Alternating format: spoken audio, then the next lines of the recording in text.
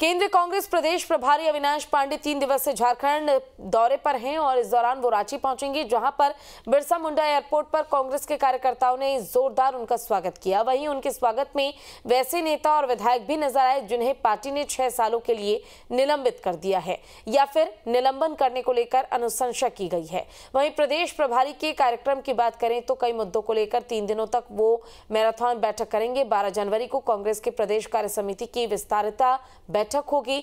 इसके तहत 11 जनवरी को रामगढ़ में कांग्रेस के राजनीतिक मामलों की कमेटी की बैठक होगी, जिसमें वर्तमान राजनीतिक हालात, उन्नीस सौ बत्तीस खतियान आधारित स्थानीय नीति, दलित उत्पीड़न, महिला सशक्तिकरण जैसे अहम मुद्दों पर विचार किया जाएगा। इसके साथ ही पार्टी के अंदर उठ रहे विरोध और संगठन के कार्यक्रमों पर भी चर्चा की जाएगी।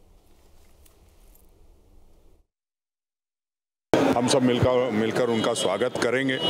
और सबसे पहले बैठक करेंगे जो कार्यकारी अध्यक्ष और मंत्रीगण हैं उनके साथ जो सरकार में क्या चल रहा है और संगठन में क्या चल रहा है, संगठन में मंत्री गण की क्या भूमिका रही है उस उन सारी चीज़ों पर एक लेखा जोखा आज उस पर बात होगी। कल हम लोग राजनीतिक मामलों की समिति की बैठक है, उसमें हम लोग चर्चा करेंगे।